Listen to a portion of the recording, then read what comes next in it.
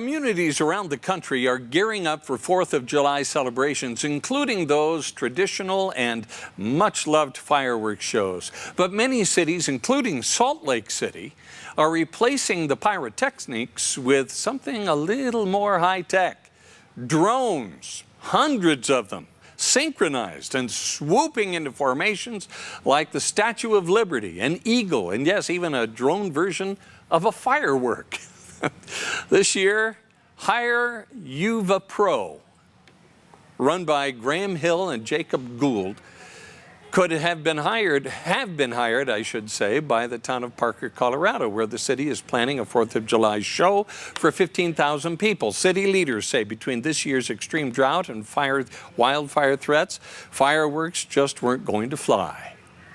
We were really bummed. It was a very hard decision to make. I think um, when people understand the safety is the number one concern for our community and the record heat that we've had lately, um, I think they understand. We've been contacted by hundreds of municipalities really? for the 4th of July. You know, we had probably had to turn, oh, turn away about three or 400 cities.